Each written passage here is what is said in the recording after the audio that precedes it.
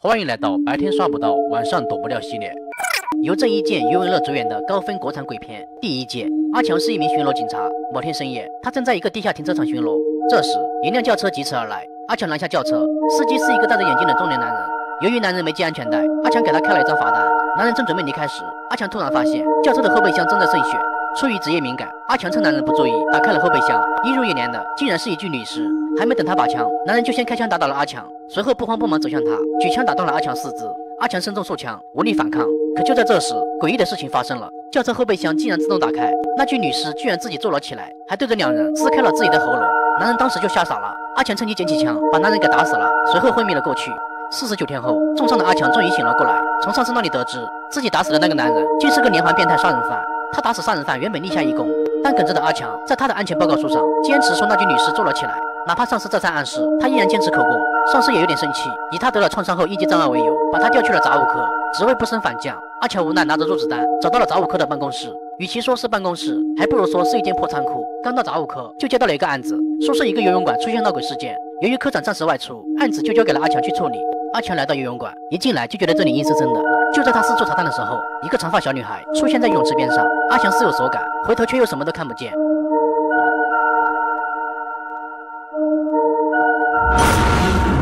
原来老头是这里的管理员，他告诉阿强，自从上个月一个八岁的小女孩在这里淹死后，游泳馆每晚都会出现诡异的哭声。阿强不信鬼神，他开始四处寻找线索。来到供水房后，一个男人突然出现在他身后，这人正是杂物科的科长剑哥。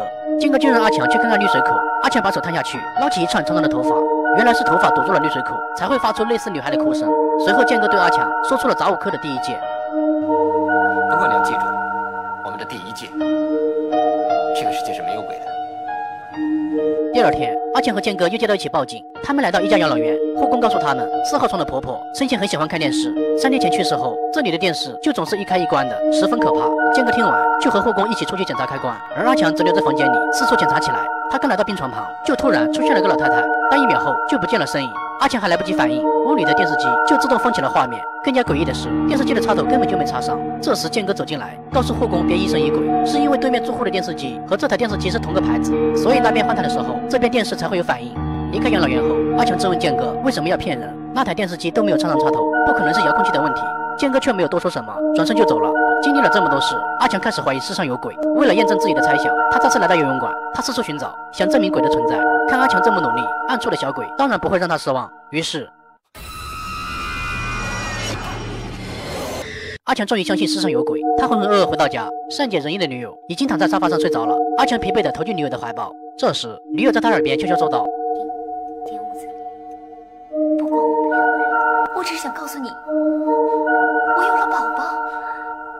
好嘛，虚惊一场。知道自己快要当爹后，阿强非常高兴。第二天，他找到上司，同意修改案情报告，想调回警队。因为杂物科老是和鬼打交道，实在危险。他不想自己的孩子一出生就没有父亲。这时，建哥也来了，兴高采烈地递交了辞职信。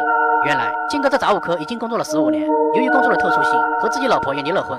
因为阿强的到来，剑哥终于有了接班人，可以离开杂物科了，然后带着前妻远走高飞。阿强想调回警队的愿望落空，只好继续工作下去。剑哥也还需要一段时间才能离职。在这段期间，他们又接到一起任务，来到一家废弃的影院做调查。剑哥一进来就和影院管理员交谈，劝他搬离这里，但管理员死活不肯，要和这家废弃影院共存亡。这时，一个地产经纪人找到阿强，说自己是报警人，因为影院要拆除，但装修工人总是见到奇怪的东西。接着他问阿强：“你同事在和谁说话？”阿强不解地看过去，明明剑哥就跟管理员在说话。可当他转过来看向镜子时，镜子里竟只有剑哥一个人。阿强这才反应过来，管理员不是人。就在这时，管理员看到那个经纪人，就是这个经纪人要想在他的影院。他生气地朝经纪人走去，随后化作一团黑烟，直接上了经纪人的身。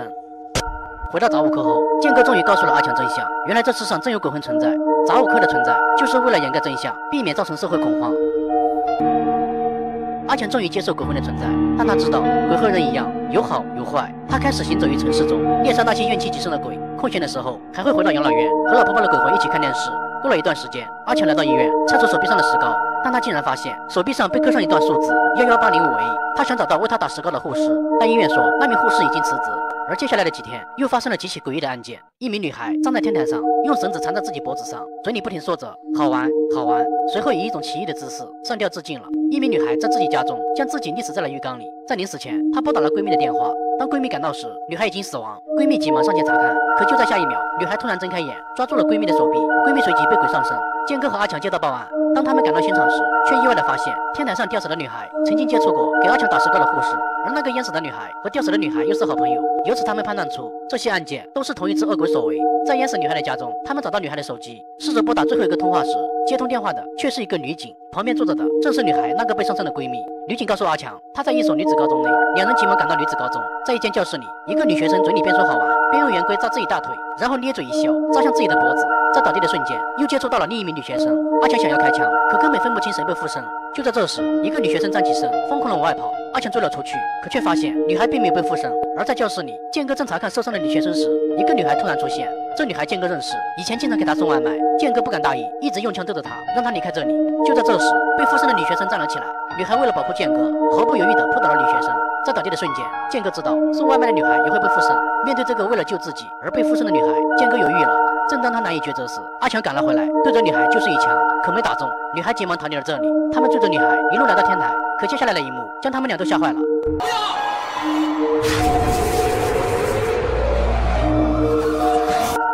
一个女警赶来，结果被其中一个女孩抓住了手，立马就被附了身，打死了一个警察后，抢夺警车逃离了这里。阿强急忙追了上去，追到一个路口后，女警故意将车停在路边，随后打死了一个路人。趁阿强检查路人伤势，用枪顶住了他脑袋。这时阿强电话响起，女警让他接听。电话里，同事告诉阿强，他查到幺幺八零五的那串数字是一张罚单号，而开罚单的人正是阿强。这时女警也开口说话了：“警官，好久没见了。”啊！女警正得意羞辱阿强时，阿强趁机夺过枪。可就在这时，两名刑警赶了过来，看到他拿枪对着警察，当场就将他按在了地上。被附身的女警也潇洒离开了这里。终于解释清楚后，他立即往家里赶去，因为他害怕恶鬼会伤害自己的女友。大家注意这里，从阿强推开家门时，电影就出现了双结局。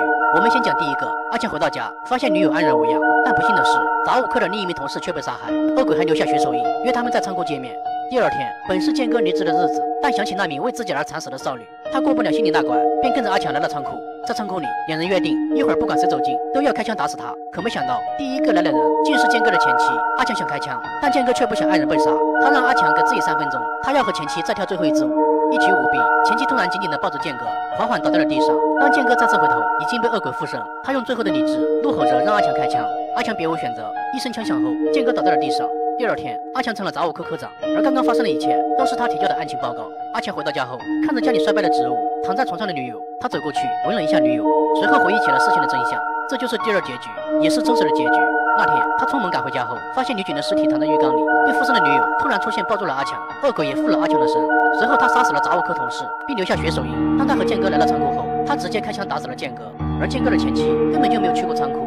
回忆完这些后，他将手里的烟头按在了阿强女友的背上，一点点搓灭，而本是躯壳的女友却流下了痛苦的泪水。电影的最后，剑哥的前妻乘船离开了这座城市，而变成鬼魂的剑哥则一直跟在他的身后。这部电影一句话总结就是：一张罚单引发的血案，最后居然是恶鬼完胜，强烈要求推出第二部。剧情我都想好了，变成鬼魂后的剑哥找到了那只恶鬼复仇，然后给他又开了一张罚单。